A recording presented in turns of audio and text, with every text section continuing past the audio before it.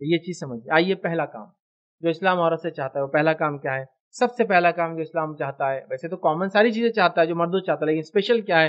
पहली चीज़ बच्चों की तरबियत।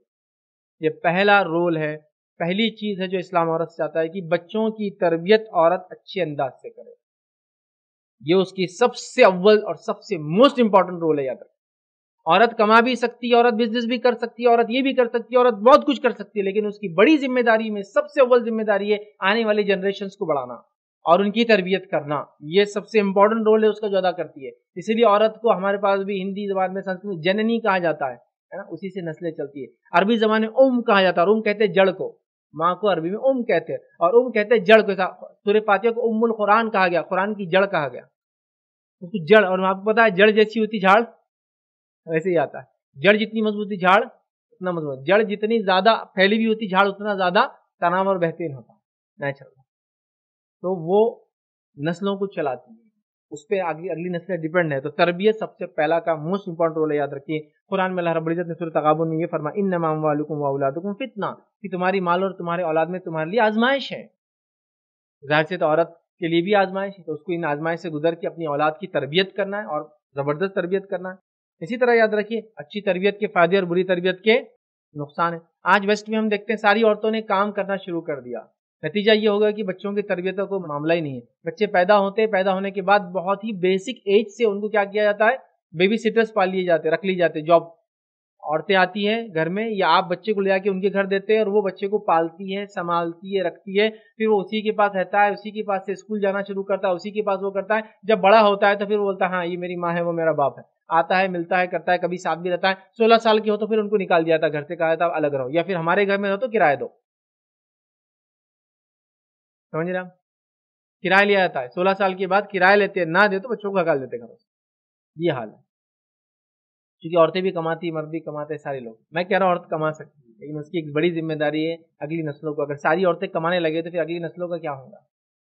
जनरेशन की जनरेशन बर्बाद और ख़राब होना चालू हो जाएगी। ये बहुत अहम चीज़ है इस किरदार को। वेस्ट ने चाहे जितना इक्वालिटी के नाम पे लिबरलाइजेशन के नाम पे फ्रीडम के नाम पे किया, आखिर यहाँ घुटने टेकने पड़े। उनकी नस्लों की तबाही को आज वो कंट्रोल नहीं कर पा रहे। क्योंकि औरत को उन्होंने सब कुछ बराबर के नाम पे सब कुछ ऐसा कर दिया कि पैदा भी वो करे, काम भी वो करे, कैसा हो सकता पॉसिबल कैसा ये? मैं भी नहीं समझ पाता उसको। इम्पॉसिबल हो जाता हाईली इम्पॉसिबल है। बहरहाल, तरबियत एक अहम किरदार है, याद रखिए। तरबियत के फ़ायदे हैं, तरबियत ना करने के नुकसान है, आप सब देख रहे हैं, मुझे बताने की ज़रूरत नहीं है। एक ज़माना था, लोगों ने सिर्फ़ बच्चों को मारना ही, उनकी तरबियत का पार्ट समझ लिया था, मर्दों ने भी और औरतों ने भी। ज़माना आपने देखा नहीं देखा, मुझे नहीं मालूम, मैंने देखा हो। उस्ताद जो मारते, बहुत अच्छा पढ़ाते। अब्बा जो पीटते और धोते, बहुत अच्छा काम करते। अम्मा जो एकदम सख्ती करती, बहुत वो है ना? वाकई सुना आपने? अब्बा लकड़ी से मारते, बेच से, हैं? टखनों को सुझा देते, लड़कों को भी नहीं छोड़ा, लड़कियों को भी नहीं छोड़ा।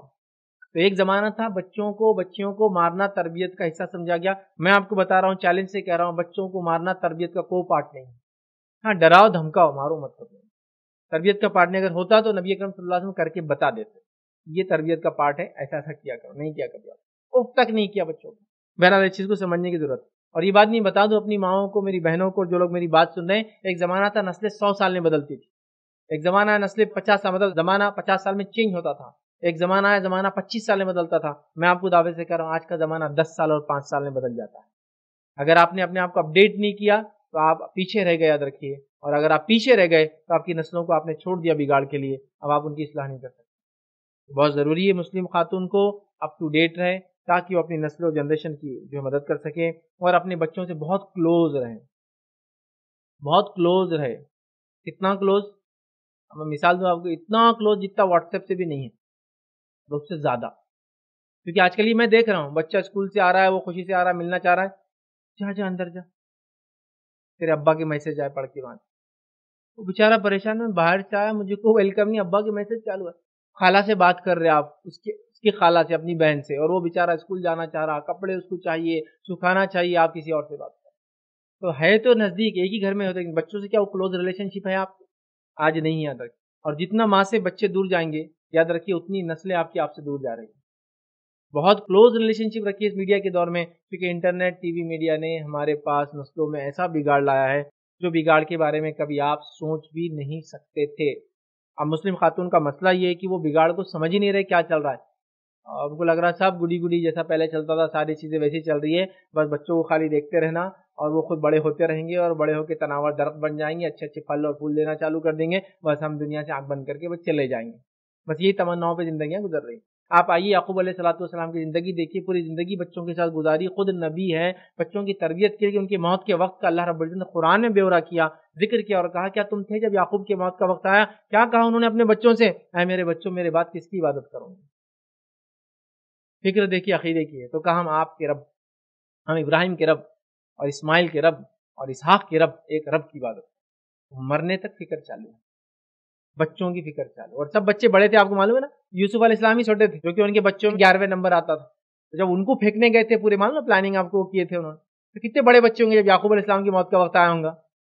सब पूछ रहे हैं, मेरे बच्चों किसकी इबादत कर तो इतना क्लोज रिलेशनशिप है। आज है कि हमारे पास क्लोज रिलेशनशिप बाप मर भी रहा तो बच्चे पैर को हाथ भी नहीं लगाते उसके, क्योंकि वो रिलेशन ही नहीं रहा ज़िंदगी में कोई पैर दबाना, सर पे हाथ रखना, शफकत करना, सीने से लगना, चूँकि सीने से ना, बाप ने ज़िंदगी बचपन में लगाया तो बच्चे बड़े होकर उन्होंने भी नहीं सीखा कैसे करना। वो रिलेशनशिप क्लोज हो जाइए बच्चों से। इतने करीब की जिसकी कोई इंतहा नहीं याद रखिए। और बच्चों का ताल्लुक अपने रब से ऐसा जोड़ दीजिए, अकीदे में उनको ऐसा मज़बूत बना दीजिए कि बस इतनी आंधिया, तूफ़ान, फितने दुनिया क्या है, वो बच्चा अपने अकीदे से कभी ना पहला काम कर दिया।